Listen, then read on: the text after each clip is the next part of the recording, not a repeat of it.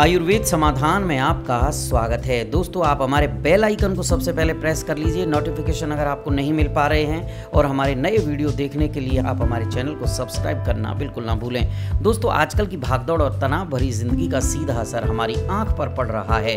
व्यस्त लाइफ के चलते आजकल के लोगों के पास ना तो समय पर खाना खाने का समय है और ना ही अपनी फिटनेस पर ध्यान देने का।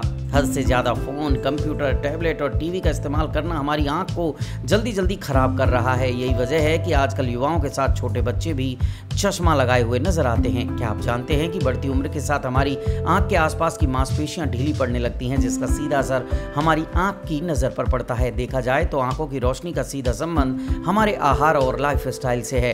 आज हम आपको इस वीडियो में बताने जा रहे हैं कुछ आसान से तरीके और आपको क्या करना चाहिए, क्या नहीं करना चाहिए, जिससे आपकी आँखें भी खराब नहीं हों। सबसे पहले देख लेते हैं कि आपको आँखों की रोशनी बढ़ाने के लिए क्या करना चाहिए। सुबह सुबह उठकर दोस्तों मुँह में पानी भरें और फिर ठंडा पानी अपनी आँखों पर मारें। ध्यान रहे, आँखों पर पानी मारते वक्त आँखें खुली हों।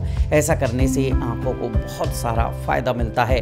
रोज सुबह हरी घास पर 15 से 20 मिनट तक नंगे पाँव चलना चाहिए। घास पर ओस की नमी रहती है और नंगे पाँव इस पर टहलने से आँखों की रोशनी बढ़ती है और तनाव से मुक्ति मिलती है। अगला, पैरों के तलवों पर सरसों के तेल से मालिश करने से आँखों को गजब का फ़ायदा मिलता है। साथ ही नहाने से पहले पैर के अंगूठे को सरसों के तेल में तर करने से भी आँखों को बहुत सारा लाभ मिलता है। पालक, हरी सब्ज़ियाँ और पत्तेदार सब्ज़ियाँ और पीले फल खाएँ।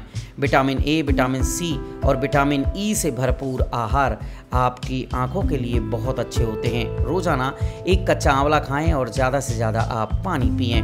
और क्या ना करें, ज़रा देख लेते हैं। आजकल बालों को रंगने का ट्रेंड खूब चल रहा है। भारी संख्या में लोग आजकल अपने बालों का कलर कर रहे हैं, जबकि ऐसा भूल कर भी नहीं करना चाहिए। कलर में कई ऐसे केमिकल्स होते हैं जिनका सीधा असर आपकी आँख पर पड़ता है।